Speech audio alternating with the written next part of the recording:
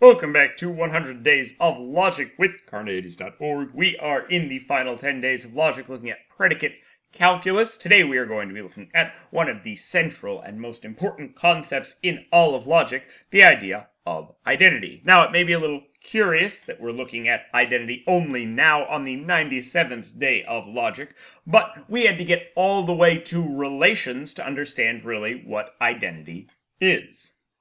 We're going to represent identity, of course, with a simple, good, old-fashioned equals sign. Now, identity is a relation between two named individuals, but it's a relation that's so important we gave it its own symbol. It would look something like Samuel Clemens is Mark Twain, C equals T, or the morning star is the evening star, M equals E. The important point here is that we're not talking about two things that are different being identical or similar in some qualitative way. We're talking about two names for the same thing. We're not going to get into identity of indiscernibles or indiscernibility of identicals right now. Like I said, there's a lot to go into identity and there's a lot that's going on. In this video, we're going to be focusing on kind of the logical relations and the way to use these concepts of identity in terms of the logic we've been learning about, and specifically in terms of predicate calculus. We're also going to be introducing another symbol that's going to be negated identity. It's something that I may use on and off, but it's definitely something you will see out there. It's the slash through the equal sign. What that means is it's not the case that P is equal to Q, just so you don't get thrown off by that, examples might be Paris is not London, P does not equal L, or Madonna is not Cher, M does not equal C. There are a lot of things that you can do with identity. You can make a bunch of different statements, and you can make all sorts of new statements that we couldn't make before. Once we have added, next time, modal logic, we will be basically able to make almost any statement in the English language into a logical proposition. This is the first example. Barack Obama is the only president of the United States. So, the only is a term or a way of speaking that we haven't learned how to translate into logic speak yet. We now have a way to do it. It would be symbolized as follows Barack is the president, B is a P, and for all X, x is a p, x is a president, implies that x is identical to b. x is identical to Barack Obama. Therefore, Barack Obama is the only president of the United States. We can also do things like no and except. No nation except Australia is a continent. What we're saying here is Australia is a nation, and Australia is a continent, and for all x, if x is a nation and x is a continent, that implies that x is identical to Australia. There's no one except. We also have the only.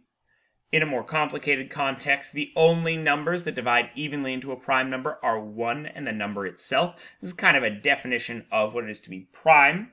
For all x, x is prime implies that 1 divides into x, that d is representing a relation between 1 and x, and x divides evenly into itself.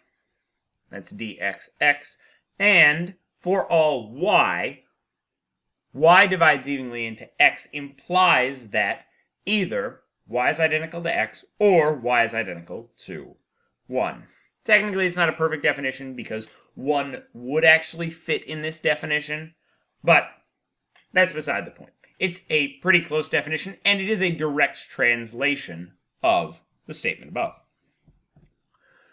All keys have sharps or flats except C.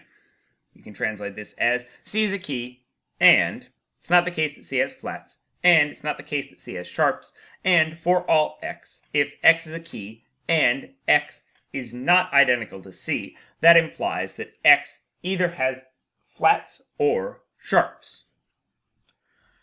That was all except we can also do superlatives. The blue whale is the largest animal. Blue whale is an animal. And for all x, x is an animal, and x is not a blue whale implies that blue whales are larger than x. Pretty cool. plug in whatever superlative you want, and just put the relation in for L. Now, in another video, we learned about properties of relations. Once again, I'll encourage you to check out that video if you're curious. We're going to be referencing a couple things there, so if you get confused in the next couple parts, you should check out that video.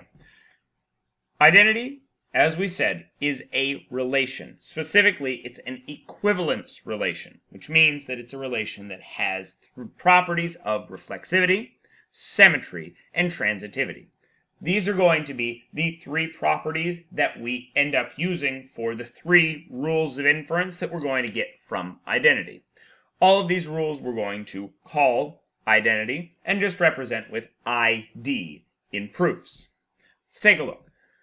But first, we need to have one more little piece of notation that we're going to add. Script lowercase letters from the beginning of the alphabet are going to be non-specific individuals, just like our script F was a non-specific predicate. Script lowercase letters are going to be non-specific individuals. So, the reflexivity part of identity is going to be all things are identical to themselves. A is identical to A. This is a pretty cool rule of inference because you can actually assert this without anything else going on.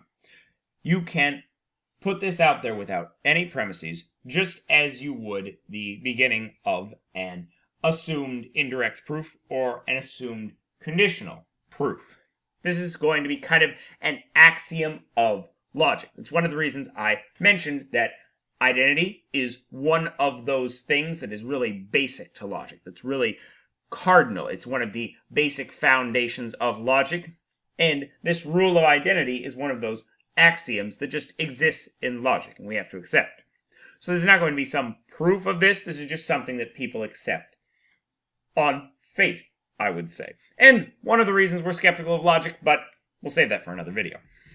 Now, symmetry is another rule of logic. This is just A equals B implies that B equals A and vice versa. This is a rule of replacement. You can throw it in anywhere. If some A is identical to B, then that B is identical to that A. This is basically like the commutativity rule that we learned about in the original rules of inference, but it's going to be for identity because the only ones we outlined in that one were disjunction and conjunction. Finally, we have transitivity. This is the cool and kind of spooky one. If you have A is an F, and A is identical to B, then B is an F as well.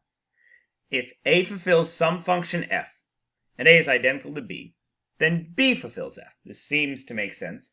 If, for example, Mark Twain wrote Huckleberry Finn, and Samuel Clemens is identical to Mark Twain, it seems that Samuel Clemens also wrote Huck Finn. However, there's going to be a very important stipulation we are going to put on this rule. This only works in extensional contexts, and it's the same caveat we're going to apply to existential generalization. Now, there's a lot I could do to talk about extensional versus intensional contexts, we could explain why that's an S instead of a T in that word. No, I didn't misspell it. There's a whole thing going on. I don't want to get too much into it because this is a video about identity. I'll do a separate video on extensional versus intensional context, but here I'll give you a little bit of a sense of the difference between intensional and extensional context, or at least the reason that we can't use the rule we just learned about in intensional context. So, an intensional context would look something like this.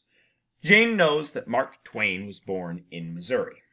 K, J, M. Mark Twain is Samuel Clemens. M equals S. Jane knows that Samuel Clemens was born in Missouri. And we're just using K, X, Y to represent X knows that Y was born in Missouri.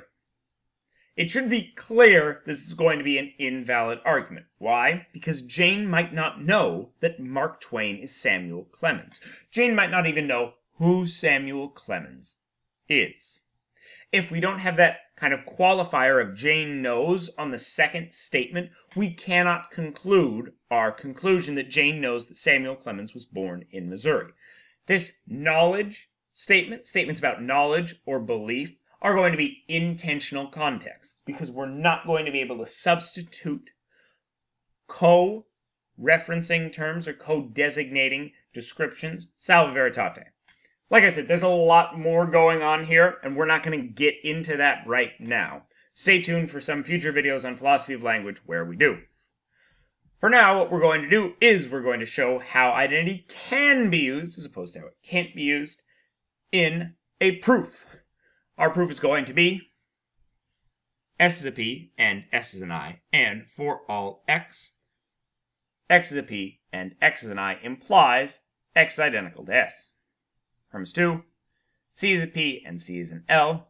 Premise 3, there exists an X such that X is a P and X is an I, and it's not the case that X is an L.